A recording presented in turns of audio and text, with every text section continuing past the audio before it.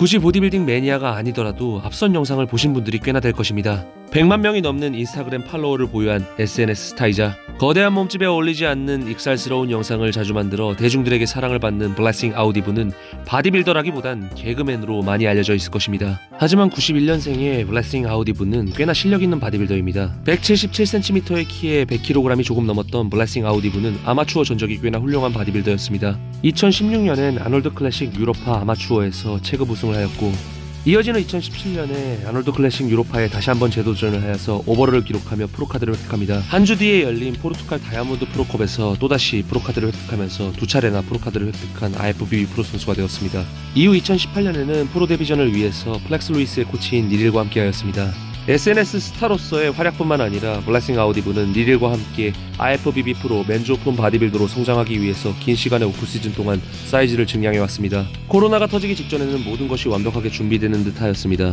2020년 3월 아놀드 클래식 오하이오 이후에 열릴 아놀드 클래식 호주를 준비하던 블레싱 아우디브에게 안타깝게도 안 좋은 소식이 찾아옵니다.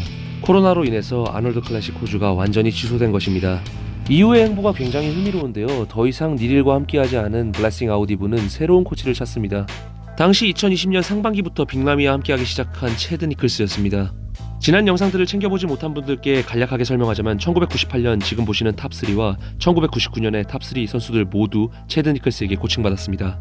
2020년 중반기부터 채드 니콜스와 함께하고 있는 블레싱 아우디브의 사이즈는 무서운 속도로 커져가고 있습니다. 지난 시합을 준비하면서 시합 체중 110kg 남짓이었던 블레싱 아우디브는 현재 오프 시즌 체중이 135kg에 육박합니다. 1년 가까이 함께하고 있는 채드 니콜스와 블레싱 아우디브의 최초의 계획은 2021년 5월에 열릴 뉴욕 프로입니다. 프로 데뷔전을 준비하면서 엄청난 사이즈 증량을 이뤄낸 블레싱 아우디브의 라이벌로 예상되는 선수는 바로 우리가 잘 알고 있는 닉 워커입니다. 닉 워커는 2020년 NPC 노스 아메리칸에서 overall을 기록하면서 IFBB 프로가 됩니다. 당시에 만 25세임에도 불구하고 IFBB Men's Open 프로 바디빌더들과 견주어 보아도 사이즈적인 면에서 전혀 손색이 없었던 닉 워커는 많은 사람들로부터 기대를 받았습니다. 이후 바로 2020년 하반기에 열렸던 시카고 프로에 출전했던 닉 워커는 프로 데뷔전에서 4위라는 준수한 성적을 기록합니다. 이후 2020년 미스터 올림피아에서 6위와 10위를 각각 기록한 아킴 윌리엄스와 저스틴 로드리게스가 출전한 시카고 프로에서 4위를 기록한 것은 데뷔전이었던 닉 워커에게 엄청난 수확이었습니다. 앞서 소개한 블레싱 아우디브와 마찬가지로 닉 워커 역시 14주를 남긴 뉴욕 프로를 준비 중에 있습니다. 워낙에 SNS상으로도 유명한 두 선수이지만 보디빌딩계에서 젊은 두 선수의 대결에 많은 보디빌딩 팬들이 관심을 갖고 있습니다. 하지만 미스터 올림피아 최고 순위 6위 아놀드 클래식 2020년에는 4위까지 기록한 스티브 쿠글로가 올해 복귀한다는 소식이 있습니다. 이미 2020년 3월에 열렸던 아놀드 클래식에서 윌리엄 보락, 덱서 잭슨, 빅라미 등을 제외한 모든 선수들을 잡아낸 스티브 쿠글로였습니다. 그 선수들 중에는 설지 올리바 주니어, 세드릭 맥밀란 그리고 2020년 미스터 올림피아에서 6위를 기록했던 아킴 윌리엄스도 있습니다.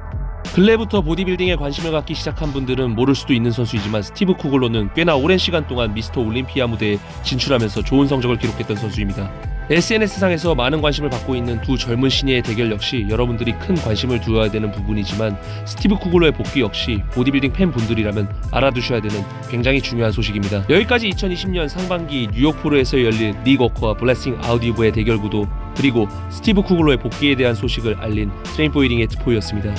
시청해주셔서 감사합니다.